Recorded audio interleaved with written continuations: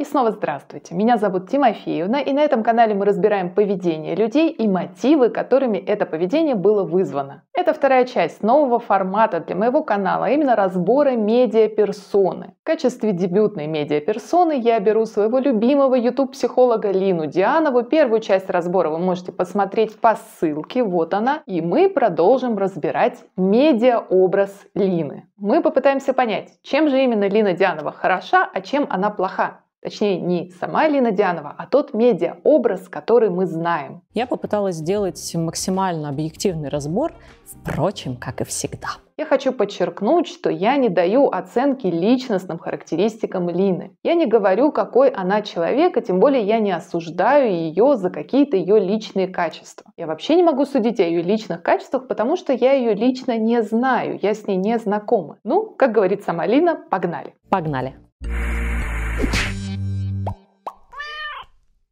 Первую часть мы закончили на обсуждении двух спорных психоразборов, а именно разбор интервью Елены Дропека и интервью Дианы Исаковой. Есть основания полагать, что Лине кто-то продиктовал те выводы, к которым должен свестись ее психоразбор, точнее два этих психоразбора. И она намеренно искажала информацию таким образом, чтобы в итоге все пришло к этим заранее известным оговоренным выводом. Если Лина действительно подогнала свои психоразборы под какие-то определенные выводы, это правда очень плохо для ее репутации. Но в то же время эта ситуация породила некий положительный для репутации Лины феномен, а именно ее попытку признать свои ошибки. Сегодня я буду учить вас, как пукать незаметно. Например, про интервью Елены Дропека она сказала, что не взялась бы разбирать это интервью из позиции вот сейчас. Она признает, что отхватила получила много хейта на теме разбора этого интервью. И, скорее всего, выбор именно фигуры для разбора и выбор самого видео был для Лины ошибкой. Э, если бы можно было изменить какое-то одно событие из прошлого, что бы это было? Я бы не сняла выпуск про дропеку. То есть мне не стыдно ни за что, что я сказала в разборе. Я разбирала две позиции. Но смотрите, что делает мудрая дропека. И умная дропека сразу ответила не на дурацкий вопрос, но дропека и тут применяет прием и блестяще выходит из этой ситуации. Дропека очень-очень подкована.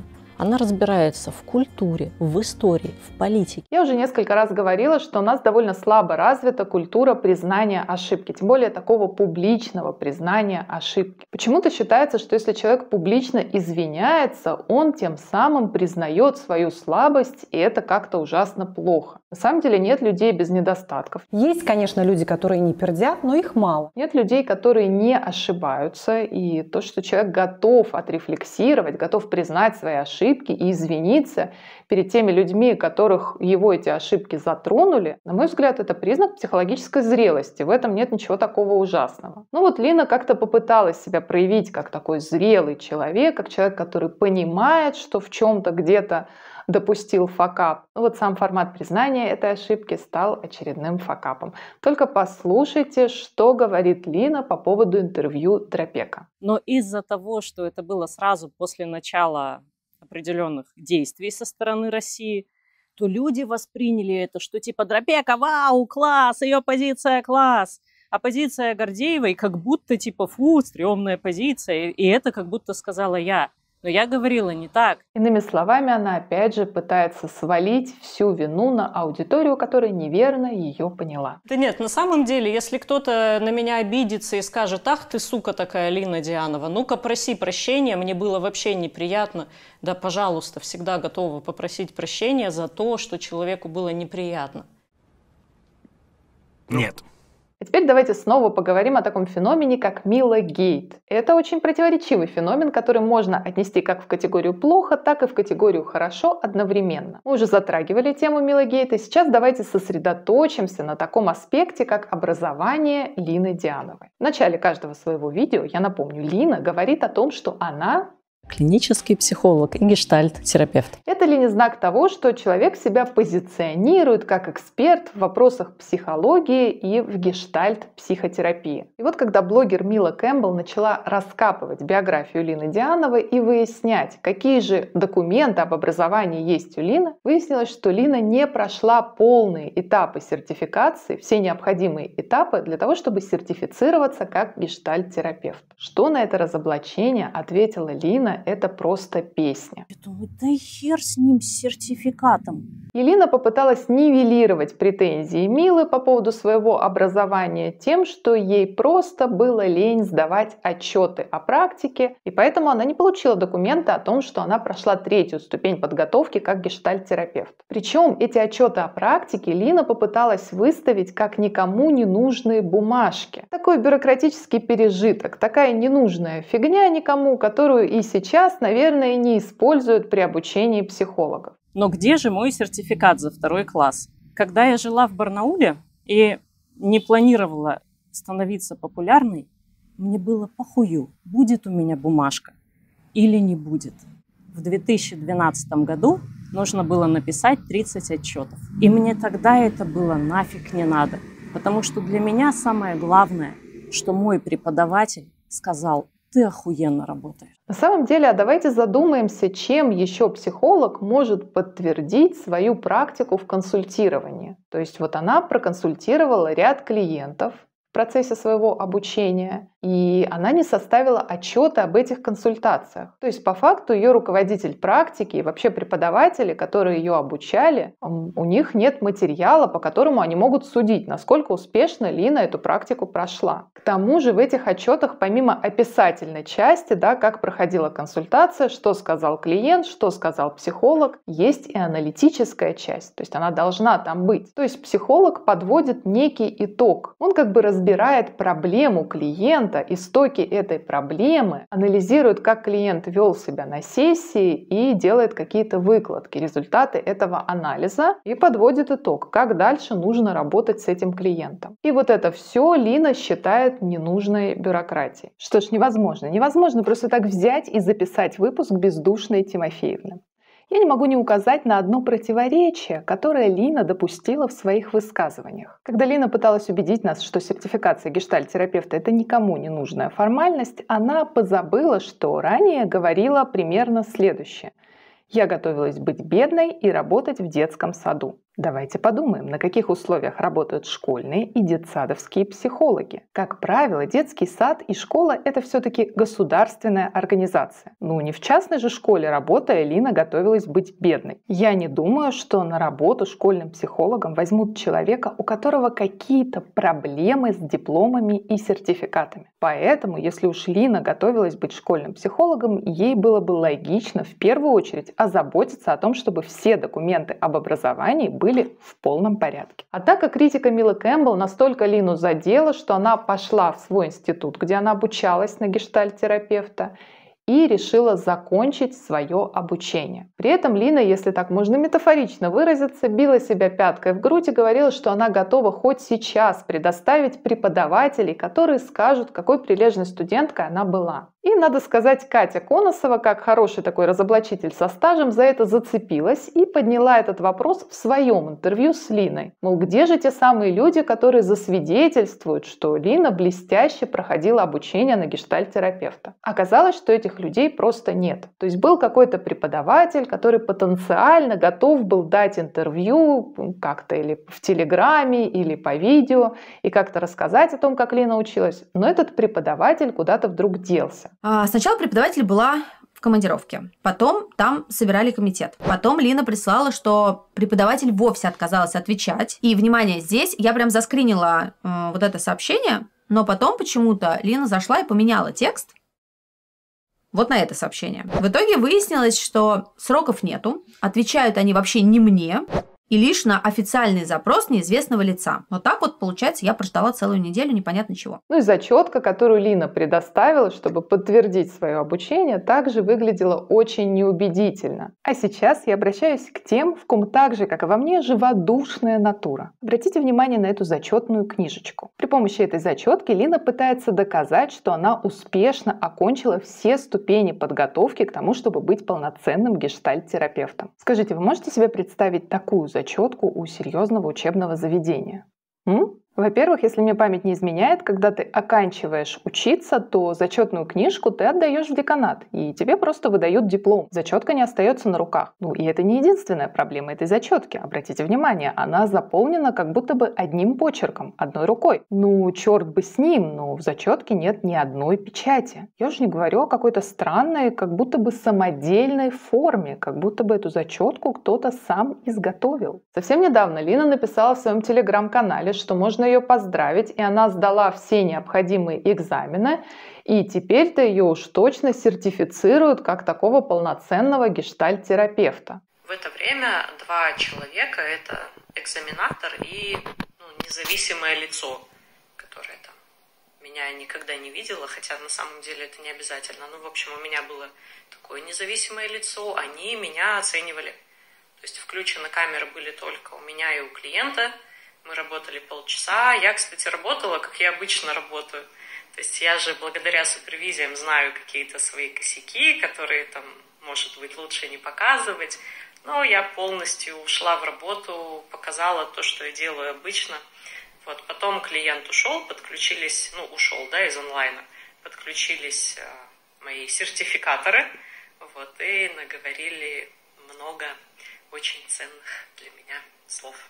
Но опять же, никаких документов, которые это подтверждают, мы так и не увидели. И никакие преподаватели Лины, опять же, не выступали на публику. При этом Лина, конечно, сообщила, что она блестяще окончила программу обучения, и ей даже предложили преподавать в том самом Гештальт-институте.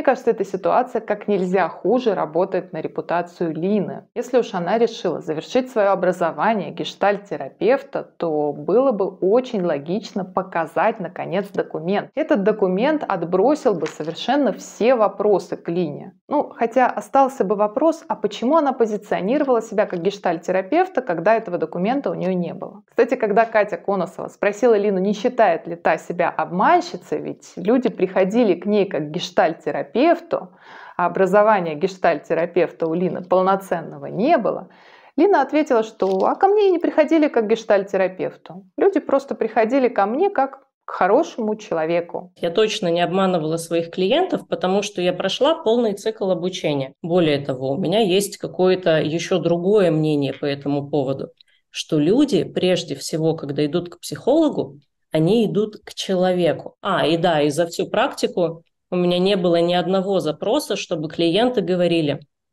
я хочу позаниматься именно гештальтом с тобой.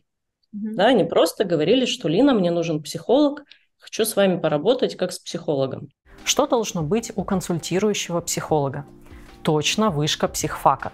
Специалист, бакалавр или магистр – и далее обязательно документ, подтверждающий прохождение психологом обучения в одном или нескольких подходов психологического консультирования. Смело задавай вопрос об образовании и выясняй, кто перед тобой – специалист в области психологии или самозванец. A few moments later. Я думаю, да хер с ним, с сертификатом. Этот пердеж уже идет из ноздрей, из ушей, изо рта, откуда угодно, но только не из ануса, но только не из прямой кишки, а все потому, что вовремя не пернули. Обратите внимание, рассказывая о своем экзамене, Лина говорит, что она привыкла работать точно так же, как и работала. То есть она реализовывала какие-то свои, в принципе, обкатанные шаблоны. И в этом нет ничего плохого, я не к этому придираюсь. Я придираюсь опять же к нестыковкам. В интервью Кати Коносова Лина говорит, что ей не в чем оправдываться перед своими клиентами, потому что она не работала с ними как гештальт-терапевт. То есть следим за руками. В работе с клиентами у Лины были какие-то методики, которые не относятся к гештальт-терапии. Эти обкатанные методики и шаблоны она показала на экзамене по гештальт-терапии, и те, кто ее сертифицировал, по гештальт-терапии, оценили ее работу как отличную и даже предложили ей преподавать гештальт-терапию. Я вижу в этом противоречие. Ну, возможно, эта ситуация послужит хорошим уроком не только для самой Лины, но и для потенциальных клиентов, которые выбирают себе психолога. Урок здесь в том, что нужно тщательно проверять образование того психолога, к которому вы идете, его сертификаты о повышении квалификации и так далее, и так далее. Ну, еще один момент по поводу Милы Гейта, что совершенно нельзя никак зачесть в плюс Лины, это ее такой откровенно агрессивный хейт в сторону Милы. Хейт по принципу «ты, Мила, психически больная, и тебе надо лечиться у психиатра». На мой взгляд, для психолога совершенно недопустимо такое поведение, тем более для клинического психолога, который в принципе заточен под то, чтобы работать с людьми, у которых психические заболевания. И вот когда клинический психолог говорит, что вы ее слушаете, эту Милу, ведь она же больная, это вызывает очень большие вопросы к эмпатии этого психолога. И, возможно, ей тоже нужна какая-то ни в коем случае не психиатрическая, Нет, а просто кажется, психологическая. психиатрическая. И, соответственно, я подозреваю по тому, что я слышу про эти видео, что там не один диагноз. Ты зря отрицаешь возможную психиатрическую помощь. Любая помощь супер. Ни в коем случае горячий пук не надо выпердевывать, вот так выпердовывать ярко и громко, да, потому что здесь уже дело не в звуке, здесь дело в запахе. Следующий признак, так сказать, плохости Лины Диановой – это ее откровенные маркетинговые манипуляции, которые она использует для того, чтобы продавать свои продукты и популяризировать свою фигуру. Только послушайте ее теорию 50% и равновесного вклада аудитории в ее блог. Новеньких объясню, что значит отдать свои 50%.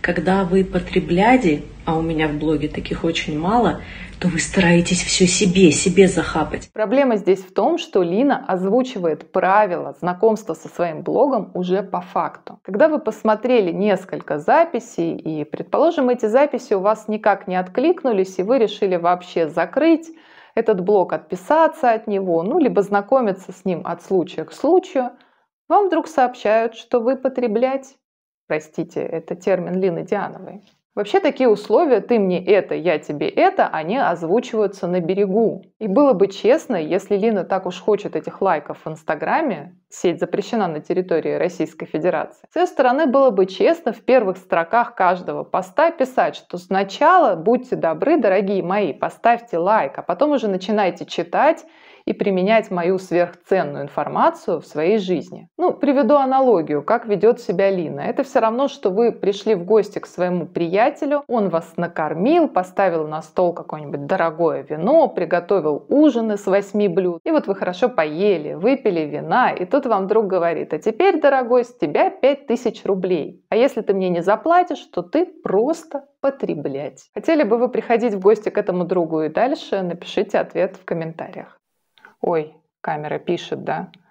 Тут должна быть, наверное, еще одна вставка Вероники Степановой про пердеж, но я уже не могу все это монтировать, поэтому давайте так оставим. Следующий пункт, который опять же работает линию в минус, это ее неопределенное позиционирование. Я в который раз повторюсь, что она себя позиционирует как психолог и гештальт-терапевт, то есть так она себя называет в начале видео, но при этом, когда на нее обрушилась критика после Мила Гейта, Лина сказала, что она всего лишь ведущая. В моем понимании ведущий – это тот, кто произносит на камеру заготовленный кем-то другим текст или сценарий. Если этот сценарий готовил сам ведущий, то он тогда автор и ведущий. И эта передача авторская. И вот видеоразборы Лины и ее канал я всегда воспринимала как авторский. Да и в интервью Лауре Джугеле она говорит о том, что она сама делает разборы. Да, у нее есть продюсер, но этот продюсер всего лишь предлагает ей, кого конкретно она может разобрать. И то дает ей варианты, какой-то спектр. И уже Лина самостоятельно выцепляет из этого спектра какую-то медиа медиа-личность. И эту личность, как она говорит, до 8 часов рабочего времени она разбирает. То есть буквально каждую фразу она разбирает и пытается из этой фразы вычленить какие-то смыслы, такие неочевидные. Получается, что Лина это не только ведущая, но и автор. Выставлять себя ведущей это как минимум нечестно. Тут как бы Лина дистанцируется от того, что она говорит. Мол, я просто села из суфлера на камеру прочитала какой-то текст. А кто там этот текст написал? Что этот человек там думает, это вообще не моя задача. Вот я такой диктор телевидения. Пришла, почитала, ушла. Все вопросы к автору и редактору этой передачи, а кто автор и редактор, я вообще хз. Сейчас мы возвращаемся к футбольной теме. Нам удалось установить связь с британским Манчестером. Там работает наш корреспондент Рада Зинау. И сейчас мы узнаем, какие же настроения царят в Манчестере непосредственно перед началом футбольного матча. И Рада, пожалуйста, мы ждем. Дай микрофон.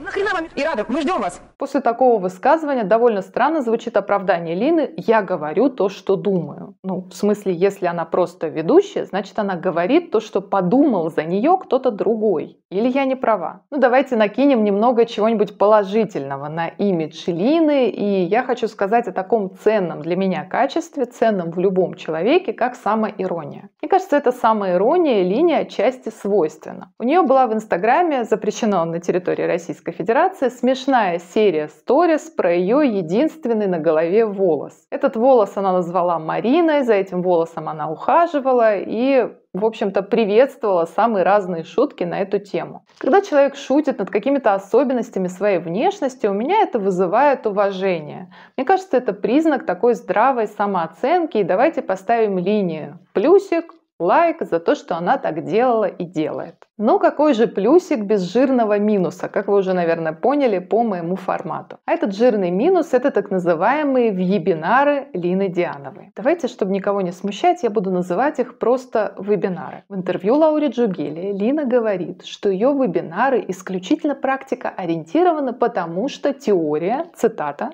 мне кажется, что на самом деле теория нахрен никому не нужна. Окей. Предположим, теория действительно никому не нужна. Я купила один из вебинаров Лины и посмотрела, каково же там соотношение теории и практики. К сожалению, я не могу вставлять какие-то отрезки из этого вебинара, потому что так я нарушу авторское право. И вам придется поверить мне на слово. Я сейчас вкратце перескажу как бы основные моменты, которым был посвящен этот вебинар. Этот вебинар был про отношения в паре и про измены. И продавался этот продукт как то, что в какой-то степени застрахует вас от партнерской измены. То есть вы можете превентивно наладить отношения со своим мужем или со своей женой таким образом, что этот муж или жена никогда не пойдет на сторону. Но при этом Лина обещала помочь и тем людям, которым уже изменили, справиться с этим потрясением, с этой травмой и как-то наладить свою жизнь и жить дальше, научиться снова доверять людям. Надо сказать, что вся структура вебинара довольно нехитрая. Это практически часовое видео, в котором Лина, внимание, излагает теорию. Она просто сидит в таком же антураже, в котором она записывает свои видеоролики. То есть, видимо, она приходит в эту же студию и на то же оборудование записывает свои вебинары. Ну окей, к антуражу докапываться не будем, сидит и сидит, рассказывает и рассказывает. Проблема в том, что она рассказывает довольно очевидные, как мне кажется, даже для не очень искушенного человека вещи. Она рассказывает о том, что измена – это предательство, что это обман ожиданий, что это разрыв каких-то договоренностей, нарушение каких-то таких проговоренных контрактов между мужем и женой, и что человек, которому изменили, воспринимает ситуацию гораздо более болезненно, чем человек, который изменил. Далее Лина бросается рассуждать рассуждать на тему, а нужно ли говорить об измене. Предположим, вы изменили, а ваш партнер ни сном, ни духом. Ну, думаю, окей, наверное, на этот час теории нам сейчас как навалят какое-то огромное количество практики и как раз все компенсируется. В качестве практики Лина предлагает такую рабочую тетрадь. И в этой рабочей тетради изложены те же самые тезисы, о которых она говорит в видео. Небольшим бонусом к вебинару идет короткое видео с ответом на часто задаваемые вопросы. И вот в этом видео, хочу сказать, отвратительно плохо записанный звук. Причем Лина точно так же сидит в своей вот этой хорошей студии, записывается на хорошую камеру, но, видимо, микрофон не подключили к рекордеру или что-то пошло не так, и звук записан ужасно. Я вставлю маленький кусочек, просто чтобы вы оценили качество звука. Это звук будет без картинки. Ну, в оригинале он был с картинкой, я просто не хочу нарваться на нарушение авторских прав. Таким образом, он говорит о своем страхе предательства, страхе испытать боль, Мне кажется, что такое низкое качество контента, именно техническое качество, это признак некоторого неуважения к своей аудитории, которая заплатила за этот продукт. Ну и как я не старалась перелопатить эту рабочую тетрадь вдоль и поперек, из практических рекомендаций я нашла всего две. А, значит, рекомендация номер один. Если у вас какие-то проблемы в паре, то вам рекомендовано пойти к семейному психотерапевту. А, да, там еще предварительная как бы рекомендация, если у вас проблемы в паре, обсудите это со своим партнером. Вот такие практические действия. И вторая полноценная рекомендация, если вы чувствуете, что у вас внутренние какие-то проблемы, вас просто тянет налево, и вы не можете, вы понимаете, что это плохо, но вы не можете этому сопротивляться, тогда вам нужно пойти на личную психотерапию. Ну и точно так же следует поступить, если вас бросили, и вы чувствуете, что в отношении вас совершено ужасное предательство, то вам тоже нужно пойти на личную психотерапию. На мой взгляд, друзья, обе эти практические рекомендации просто просто на уровне капитана очевидность. Поэтому пердить обязательно нужно своевременно. Просто надо научиться это делать. А мало кто умеет это делать. Если бы у меня реально стоял вопрос измены в отношениях, и я хотела на самом деле помочь своим отношениям при помощи этого вебинара, я бы посчитала, что эти деньги за вебинар просто выброшены на ветер. Я от всей души никому не рекомендую вот конкретно этот вебинар. Может быть, другие вебинары Лины, они как-то лучше. Ну, здравствуйте, я ваша тетя. Психолог рекомендует решать психологические психологические проблемы на индивидуальных психологических консультациях. Вот мы этого как будто бы не знали. Ну, давайте пару слов скажем о том, чем же Лина занята сейчас. А сейчас у нее есть собственное шоу, психотерапевтическое шоу на платформе ВКонтакте. За это Лина также отхватила хороший кусок хейта. Дело в том, что сейчас многих известных, популярных блогеров, которые переходят на ВКонтакте, обвиняют в том, что они помогают российским властям подготовиться к блокировке Ютуба на территории России. Так ли это на самом деле, мы не знаем. Мы не знаем, готовится ли блокировка Ютуба. Кстати, на всякий случай давайте мы с вами подготовимся к блокировке Ютуба и подпишемся на меня на Бусти. Вы можете подписаться подписаться на мой аккаунт на Бусти даже бесплатно. Я, кстати, периодически выкладываю контент, доступный для тех, кто просто бесплатно читает мой Бусти. Также вы можете подписаться на мой телеграм-канал, чтобы не потерять меня из виду, если вам интересен мой контент. Ну и возвращаясь к Лине, мы не знаем, готовится ли блокировка YouTube. И в случае, если эта блокировка действительно готовится, мы не знаем, осознает ли Лина, что она помогает таким образом ведя свое шоу на видео ВКонтакте, помогает таким образом подготовить эту блокировку. Возможно, она просто пытается не растерять свою аудиторию, набранную на Ютубе, а у нее тут более полумиллиона подписчиков. Я посмотрела первый выпуск этого шоу, в котором героем выступал Ильдар Джарахов, его Лина анализировала. И я вам хочу сказать, что это просто убийственно скучно, мне кажется, даже для поклонников Ильдара Джарахова. Шоу явно идет по прописанному сценарию, и уровень искренности на этой консультации у обоих героев очень-очень низкий. Хотя изначально сама идея для шоу достаточно хорошая, то есть мы выводим психологическое консультирование из такой невидимой зоны, да, из того, что происходит за закрытыми дверями, выводим это на публику. И таким образом у людей, которым требуется помощь психолога, возможно, снимаются какие-то страхи перед походом к психологу. То есть человек понимает, что ничего такого такого ужасного на консультации психолог с ним делать не будет, а возможно даже и поможет. Но вместо воплощения этой хорошей задумки мы увидели просто не очень хороший театр двух актеров. Кстати, если вы смотрели этот выпуск с Джараховым, напишите, понравился ли он вам. Какие у вас вообще мысли по поводу этого выпуска?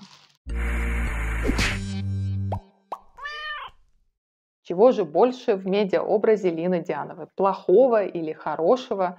Тут решать только вам. Скажу свое видение. Мне кажется, Лина, которая заявляла себя как такого прогрессивного психолога, как человека, который не боится стереотипов, как человека, который не боится шутить на какие-то острые темы, на самом деле споткнулась о свои комплексы и свои личностные недостатки. Прежде всего, она споткнулась о не очень высокий уровень эмпатии, недостаточно высокий для психолога. Также, на мой взгляд, ее подвели не очень развитые навыки рефлексии. Ей до сих пор очень трудно признавать свои ошибки, и на признание ошибок она идет вынужденно, как на такую компромиссную меру для того, чтобы не растерять всю свою аудиторию. То есть в глубине души, как мне кажется, Лина считает, что она права, она в белом пальто, и наша критика, адресованная ей, просто не обоснована. Знаете, у меня назрел свой душный вывод. Мне кажется, в нашем обществе люди испытывают огромный дефицит эмпатии и поддержки со стороны не просто не очень близких людей, например, коллег по работе, но даже со стороны своего ближайшего окружения, членов своей семьи. И вот психолог — это именно тот человек, от которого ты ожидаешь, что он будет поддерживающим и эмпатичным. Человек, который, кажется, должен быть чутким и лояльным к противоположной точке зрения. Человек, который должен уметь отрефлексировать свои ошибки и извиниться за них. И Лина всего этого не просто как будто бы не умеет, она вообще отказывает определенной части аудитории вот в таком запросе. И то, что человек демонстрирует запрос на эмпатию, оказывается признак того, что у этого человека не крепкая и, может быть, даже нездоровая психика. Но если Лина отказывает нам в каких-то совершенно нормальных человеческих проявлениях, вполне логично, что мы отказываем ей в своем внимании. Хотя что я придираюсь? Я совершенно не учитываю, что среди моей аудитории есть люди не только похожие на меня, но и отличающиеся от меня. Люди не такие гиперчувствительные. Люди с крепкими нервами и, возможно, даже с более крепкой, здоровой психикой. Что вы думаете по этому поводу, напишите мне в комментариях. Я напомню, что меня зовут Тимофеевна, моего продюсера канала зовут Чаплин, и мы с вами совсем скоро увидимся в следующем видео.